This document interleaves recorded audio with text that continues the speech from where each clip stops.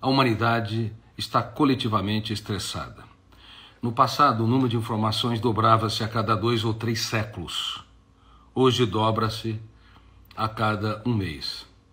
E deve dobrar na próxima década a cada uma semana ou a cada um dia. Pense bem. Nós temos um biógrafo do cérebro chamado fenômeno RAM, registro automático da memória. Ele arquiva tudo, arquiva todos os seus pensamentos saudáveis, mas todos os seus pensamentos estúpidos, todas as ideias que te promovem, te animam e te encorajam, mas todas as ideias que te apequenam, te asfixiam e levam você a perder o prazer de viver. Esse biógrafo do cérebro, ele é implacável, ele registra todos os dias cada pensamento, cada ideia e cada informação, cada dado, cada contato que você tem nas redes sociais, cada, é, cada história, cada comportamento que você observa na televisão, nos filmes, enfim, na, na relação com seus colaboradores. Então hoje, na mente humana, nós temos uma quantidade de dados assustadora. É, a quantidade de informação que você tem no seu cérebro, ela é muitas vezes mais do que um ser humano no passado, há um ou dois séculos, tinha.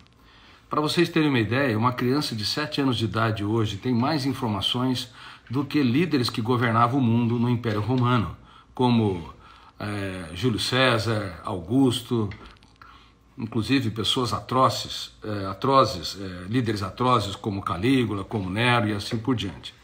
Agora, como é que pode uma criança de 7 anos de idade ter mais informações do que o imperador romano tinha no auge de Roma? Não é suportável. Naquela época, os imperadores tinham audiência com algumas dezenas de pessoas, mas hoje as crianças estão tão atoladas de dados e informações que elas estão inquietas e médicos no mundo todo, para vocês terem uma ideia, dando o diagnóstico errado, dizendo que as crianças são imperativas, quando na verdade elas têm uma síndrome que eu tive o privilégio de descobrir, chamada síndrome do pensamento acelerado. Pensar é bom, pensar com consciência crítica é ótimo, mas pensar demais sem gestão é uma bomba contra a sua saúde emocional. Isso é perigoso para as crianças também. Só que no mundo todo não se fala sobre isso. Eu dou treinamento frequente é, para membros do Judiciário, já tive a oportunidade de dar vários treinamentos para magistrados no Brasil, para a Polícia Federal, para o STJ, e eu tenho dito que não há na, na Desculpe, é, caiu um pouco a conexão. Eu tenho dito para membros do Judiciário que não há na Constituição é, o trabalho mental escravo, mas, infelizmente, na era digital há um trabalho mental escravo que tem levado crianças e adultos a um esgotamento cerebral. Então, a humanidade está estressada coletivamente. E, como eu disse, é, no caso das crianças e adolescentes, médicos confundindo a síndrome do pensamento acelerado com o transtorno de déficit de atenção e hiperatividade e dando drogas da obediência, como Ritalina e Concerta, para tentar domar o cérebro das crianças. Claro que algumas substâncias podem ser úteis em crianças que são muito hiperativas, são extremamente inquietas, mas por tempo determinado, o que é mais importante são as técnicas de gestão da emoção para que essas crianças e adolescentes possam aprender a trabalhar perdas e frustrações, colocar-se no lugar do outro, ousar, entender que elas devem ser autônomas, ter autocontrole e assim por diante. Agora, é, você só dá ansiolítico, como médicos estão fazendo, ansiolíticos os tranquilizantes, né? o arsenal de tranquilizantes que nós temos. Eles são importantes, tá? Claro, uma pessoa que está com insônia, ela precisa controlar o seu sono. Se ela não consegue, através de relaxar, se interiorizar, se proteger, se ela não conhece técnicas de gestão da emoção, ela pode ser, ela, ela, o médico pode prescrever um medicamento ansiolítico, pra, sem dúvida alguma. E esse medicamento ansiolítico ele pode ser importante para induzir o sono, para relaxar em determinados momentos, para diminuir o nível do estresse, como é, abrandar o excesso de cortisol, que é uma molécula que, quando ela é muito alta e cronicamente alta no estresse, pode aumentar, uh, diminuir a massa muscular, aumentar a obesidade, inclusive até dar déficit de memória. Também é, pode controlar certas, certos, sub, certas é, substâncias é, metabólicas, como adrenalina, norepinefrina, que atuam é, no, no sistema cardiovascular, em destaque a adrenalina, aumentando a frequência cardíaca, preparando o ser humano para lutar ou fugir. Mas lutar ou fugir do quê? Lutar ou fugir. Não tem uma fera como nas savanas africanas.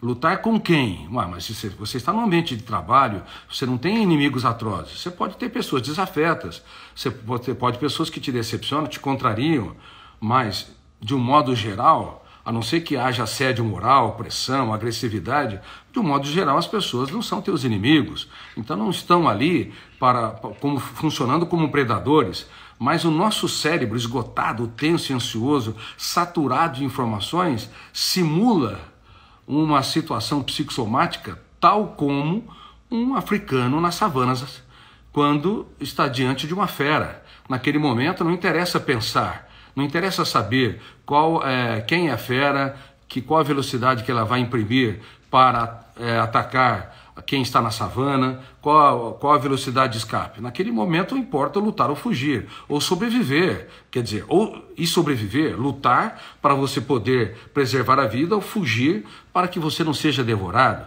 Enfim, esses mecanismos de luta e fuga estão muito presentes no estresse.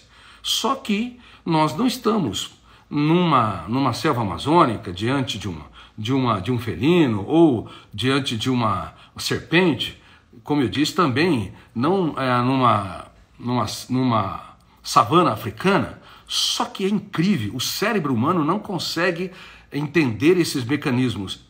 À medida que você é estressado, tenso e ansioso, sua mente é hiperacelerada, é, agitada, inquieta, o cérebro interpreta que você está com risco de vida.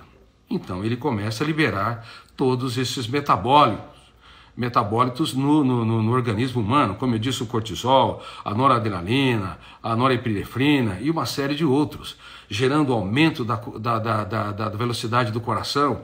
Inclusive, algumas pessoas têm até extrasístole, que é muito comum no estresse, aumenta a frequência respiratória, gerando nó na garganta, aumento do, do, da, da contração do esôfago.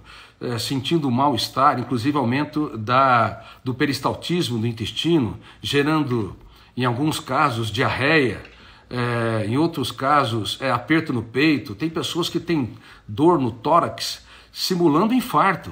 Mas o que elas estão é esgotadas, estressadas. Elas fazem parte de uma, uma humanidade que está coletivamente doente, uma humanidade que virou um manicômio global. Como eu digo no livro O Futuro da Humanidade, que vai se tornar um filme, vai ser filmado provavelmente daqui três a quatro meses pela Netflix, eu também comentei isso no, no, no, no livro e no filme Vendedor de Sonhos, é, a humanidade deixou de ser uma, um canteiro para você realizar seus sonhos, para construir relações saudáveis, para é, poder sentar na varanda da sua casa, trocar experiências de vida, encontrar pessoas que são seus vizinhos, é, falar sobre os, ah, os seus projetos, aquilo que o motiva e o anima. Não, o diálogo está morrendo. Não apenas o diálogo está morrendo entre pessoas que moram vizinhos por décadas, numa, é, é, décadas num prédio, num edifício, entre os seus apartamentos, mas também está morrendo dentro de casa. Pais e filhos não sabem mais dialogar, eles escutam, sabem escutar, escutam problemas, escutam é, falar sobre política, escutam sobre esporte, música, mas não sabem ouvir, dialogar sobre os dias mais tristes da sua história. Os pais são mutistas frequentemente, eles nem sequer falam dos seus dias mais tristes, para que seus filhos entendam que não há céu sem tempestades. É, não falam da, das suas lágrimas para os seus filhos aprenderem a chorar as deles. Mas como é que você vai formar uma pessoa resiliente, autônoma, não estressada, pelo menos não dramaticamente estressada, se você não é, compartilha os seus dramas, os seus desafios. Eu, por exemplo, é, não queria que as minhas filhas gravitassem na órbita é, de, um, de uma pessoa que tem alguma fama. Bom, as pessoas dizem que eu sou o psiquiatra mais lido no mundo na atualidade. Mas eu, o culto à celebridade, para mim, é uma estupidez da inteligência. Ninguém é maior nem melhor do que ninguém. E eu não queria que minhas filhas gravitassem nessa órbita, não queria que, minha, que as minhas filhas vivessem em função é, de alguma glória social. Eu queria que elas entendessem que eu sou um ser humano, eu sou um psiquiatra e eu estou em construção. E é por isso que muitas vezes eu falei dos dias mais dramáticos da minha existência, para que elas entendessem que não há céu sem tempestades e que ninguém é digno do pódio se não utilizar os seus fracassos para conquistá-los. E é por isso que também, em meus mais de 60 livros, eu declarei minha dor. Por exemplo, eu falei que no ensino médio eu era, eu era a segunda nota da classe, é, de baixo para cima, ninguém apostava em mim, eu era desconcentrada, minha mente vivia desenvolvendo ideias, eu queria até desenhar como é uma nova forma de linguagem, códigos, mas não prestava atenção no professor eu não tinha deleite do prazer de aprender e era um péssimo aluno, porque não tinha concentração. Aí, quando os meus colegas resolveram falar sobre o seu futuro, eu falei que eu queria ser um médico e um cientista. Bom, silêncio geral. Eu contei isso para as minhas filhas, depois vieram os deboches e contei para os meus leitores também. E eu percebi que as principais decisões de um ser humano são de foro íntimo. Elas não dependem, não devem depender da plateia, elas são solitárias. Bom, ninguém aposta em mim, os professores não apostam em mim, meus colegas me debocham, embora eu goste muito deles, mas me debocham. O que eu vou fazer? Me esconder? É, me, me considerar um coitadista, um pobre, um miserável, um vitimista? Não. Eu vou ser autor da minha própria história.